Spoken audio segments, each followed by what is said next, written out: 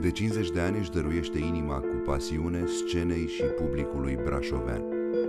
Astăzi, această inimă trebuie ținută în viață de un dispozitiv care să o facă să pulseze mai bine. Cu puțin ajutor din partea noastră și cu un stimulator cardiac bicameral, maestrul Costache Babi ne va mai încânta cu talentul său pe scena teatrului și va ști acum că inimile noastre sunt împreună cu a dumnealui. Donați cât vă lasă inima în contul afișat pe ecran. Mulțumim, maestre!